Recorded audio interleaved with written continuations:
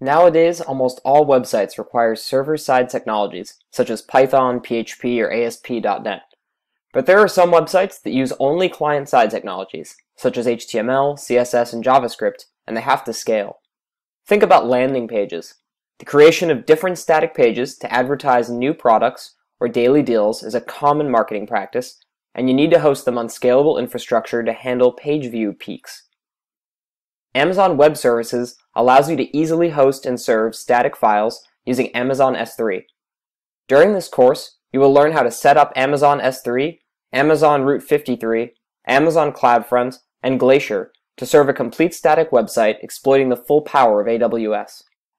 Our infrastructure will be composed of four functional blocks domain name system, storage layer, distribution layer, and backup archival system.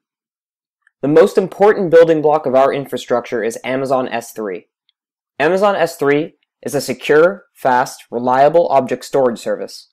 Once you create a bucket and enable it for static website hosting, all your content is accessible to web browsers via the Amazon S3 website for your bucket. The S3 endpoint URL is something similar to bucketname.s3-website-us-east-1.amazonaws.com but you can associate a custom domain name using Amazon Route 53 that is the Amazon Domain Name System, or DNS. Thanks to Amazon CloudFront, you can create a content delivery network, or CDN, to increase the speed of your static website. CloudFront makes website content available for more than 30 edge locations around the world, so visitors can download content from the nearest data center.